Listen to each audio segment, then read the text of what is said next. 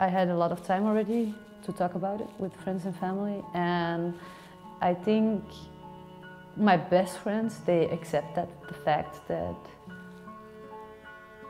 there's a big possibility that I will end my life with euthanasia. And it was, it was very difficult for them, but they understood the reasons why I can't live anymore. 30 year old Amy Jaskuta spends most of her time at home. Her psychological suffering makes it hard to leave. But it wasn't always this way. At age 11, she went from being a happy, energetic child to feeling depressed and running away from home. At that time, there was no explanation. By 13, she had to be institutionalized in an adult psych ward, as the children's wards were full. So I saw a lot of things there that a kid just shouldn't see. I don't, I can't count the amount of times that I was fixated or that I was in isolation. I didn't have any right to make up my own decisions. The traumas are a big part of my life every day. Despite earning a degree in physics and starting a PhD, Amy was still suffering from her past traumas, nightmares, and terrible mood swings. She tried to commit suicide more than 10 times. Her GP suggested euthanasia as a better way out. Uh, I really had to think about it. Was looking up a lot of stuff on the internet, and then at one after one month, I was still not really convinced, so it took me a couple of weeks extra. And then I went to my GP and said, yeah, I, I really want to, uh, to start my euthanasia request. Throughout the years, Amy had received many diagnoses. It was only when she was in the process of applying for euthanasia that a psychiatrist said she should be tested for autism. She's misunderstood, mistreated. So is that typical? That's what I say she is misunderstood eh? because now it's very clear she has autism, but it's not seen all the time she was in hospital. So I think there were there were better treatments for her than she got. They should have seen the diagnosis, and then my life would have been completely different because if they saw it when I was 12, 13 years old, then they could coach me from from, from that age. In October, Amy published an autobiography that roughly translates to How to Turn a Flower into a Monster. She illustrated the front cover with her artwork. One of the reasons that I wanted to publish it is also because I'm not very good in explaining how I really feel and what goes through my head, but apparently I can write it down.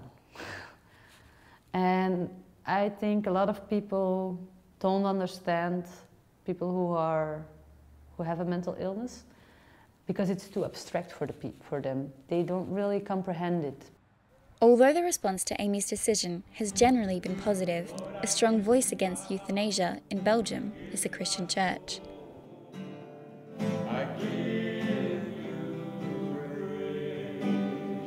God gave you the gift of life. God has allowed you to live for so many years. God may have a plan for you yet that you do not understand or you do not see. Maybe He would like you to say things or do things or help people or encourage people through your example. And so, as a pastor, I would say, don't end it. Let God be the one who chooses when your life ends. It may be a life that's in pain, it may be a life that doesn't want to go on living, but the idea is to end it prematurely, perhaps, as from my perspective, it would be premature. Allowing mentally ill patients to be euthanized has been legal in Belgium since 2002.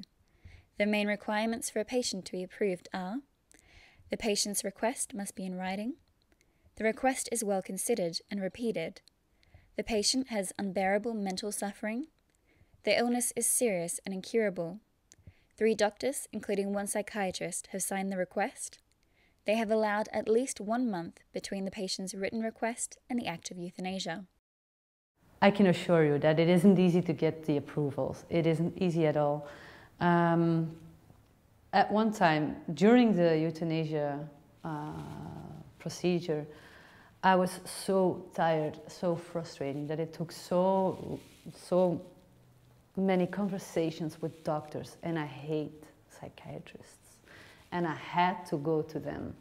So they, they again decided over my life, again. So that was very traumatizing for me. And at one time, I attempted suicide again. I, I, I tried, to, tried it again, even when I was in my procedure, because it takes so long. It's absolutely not easy. It's very difficult, and there's a lot of examinations that come before eventually euthanasia is performed. Knowing they are able to be euthanized is a relief for some mentally ill patients who would have otherwise committed suicide.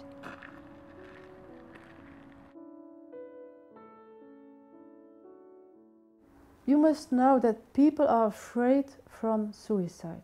Almost all of them. They did already uh, attempts many times and it's painful, it's unsure, it's not humane. Um, so they are afraid from it. And at the same time, they are occupied by the wish to die. Yeah. So it's fighting all the time. In fact, uh, there's one of the Ten Commandments that says, Thou shalt not kill. And so that would apply to killing yourself too. Now, uh, you know, if somebody's in a terrible, terrible, horrifying mental state and is not really aware of what he or she is doing, you know, I'm not going to judge that person, but I would say to anybody that's contemplating self suicide, don't do it. Because you, according to the Bible, are committing self murder. And I would not want to be you and stand before God.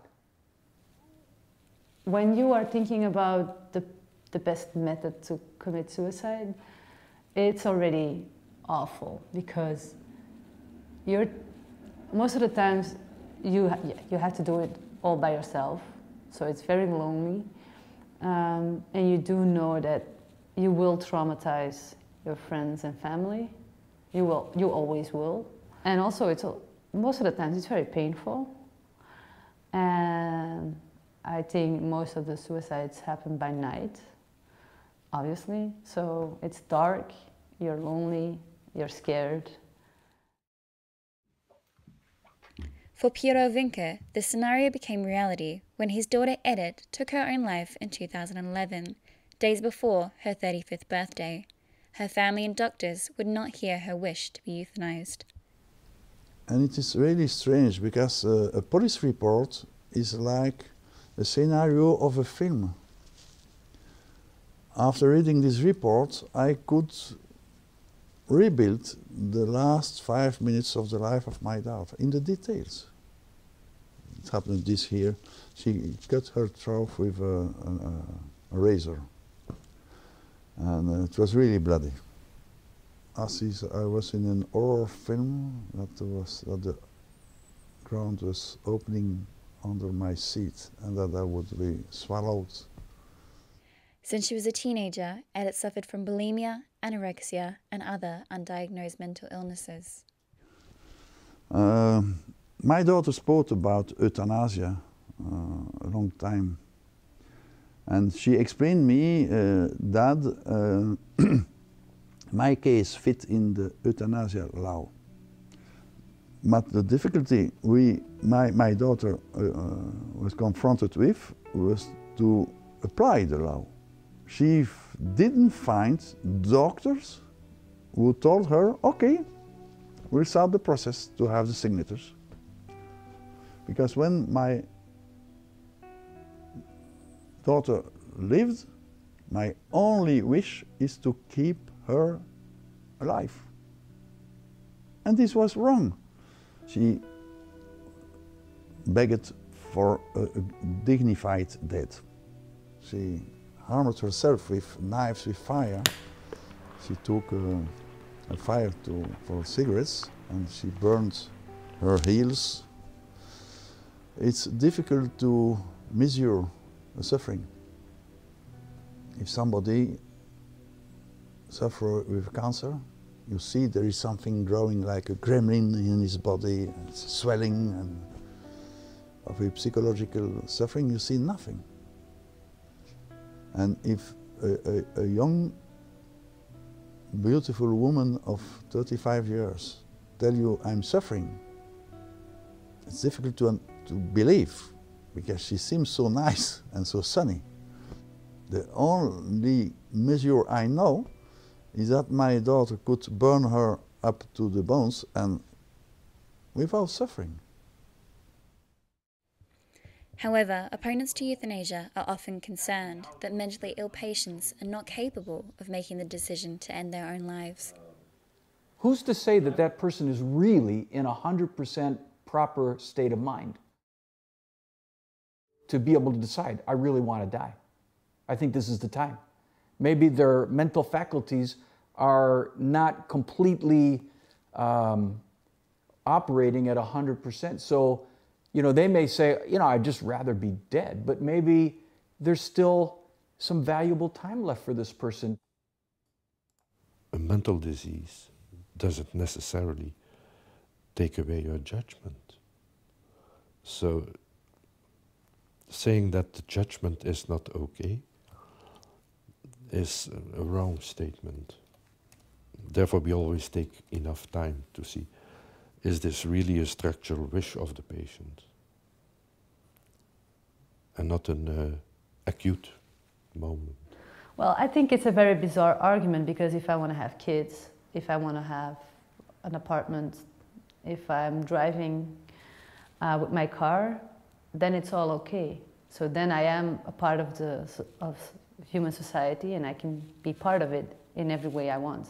But when it comes to ending my life, then all of a sudden I, I'm, I'm not rational anymore. I can't think about it anymore. And that's a very strange, well, I don't understand the argument because it isn't an argument because I can do everything else. And then I'm not a problem. But when I, when I decide what I want to do with my life in that way, then it's a problem. And we, as stupid parents, we believed that we could think in her place and that we could say her what was good or bad or best for her. So we always, instead of listening to what she was telling us, we were always convincing her to stay in this uh, structure for Amy, someone listened to her euthanasia request. After almost a year of waiting, her approval was granted this August. When I had a consultation with the psychiatrist and she handed me the piece of paper, and then I cried for 10 minutes or so. I was like so happy, like, so and I received it and then I was like, okay, I don't have to commit suicide. And I felt an enormous relief. I don't believe in God, but I'm blessed with, with my parents and my, my brother. They, they just stand behind me. Um, if I, if I want to end my life with euthanasia or if I will try to keep fighting, they say it's your choice.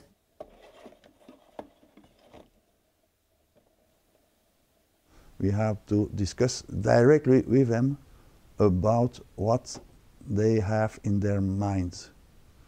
And that helps them. The, the fact to be listened at, the fact to be understood. If, if for you it's impossible to understand why my friend, the same age of me, wants to die and I want to live, never try to understand. Listen. Although she is still suffering, life is improved for Amy, if only to a small degree. She is in no rush to be euthanized right now. She is working with an autism coach and has a psychiatrist she can trust. Well, um, a month ago, I was really working on both parts. Like, if I want to live, what has to change? And I was also working on the euthanasia. But like these two paths, walking them at the same time is impossible. It's, I can't do that anymore. So now the euthanasia is, in my head, it's on hold for, some time. I don't want to put a limit to it, but I want to see again how my life should change and how my quality of life should change. But I'm scared. I'm really scared because now I have to think about future again.